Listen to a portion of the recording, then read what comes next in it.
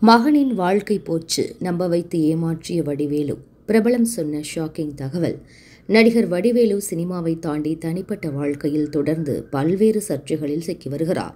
இந்நிலையில் பிரபல திரைப்பட தயாரிப்பாளர் வி சேகர் வடிவேலு குறித்து பேசியுள்ளார். அதில் அவர் நடிகர் வடிவேலு கேப்டன் விஜயகாந்தை அவ்வளவு கீழ்த்தரமாக மேடையில் பேசினார். விஜயகாந்த் நிறைய பேருக்கு உதவி செய்தார். ஆனால் வடிவேலு அதையெல்லாம் மறந்துவிட்டு அவரை தாறுமாறாக பேசினார். அவரால் எனக்கும் பாதிப்பு ஏற்பட்டது. சரவண பொய்யன் என்ற படத்தை நான் எடுத்தேன். அதில் என்னுடைய மகனை நடிக்க வைக்க விரும்பினேன்.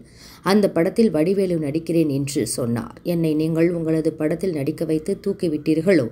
அதே போல உங்களது மகனையும் நான் தூக்கி விடுகிறேன் என்று வடிவேலு சொன்னார்.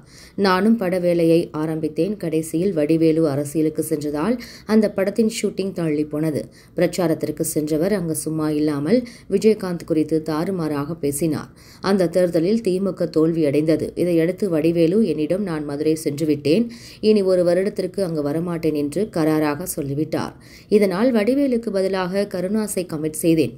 படம் தோல்வியை சந்தித்தது. என்னுடைய மகனின் வாழ்க்கையானது அதில் பாதிக்கப்பட்டது என்று பிரபல தயாரிப்பாளரான வி. சேகர் கூறியுள்ளார்.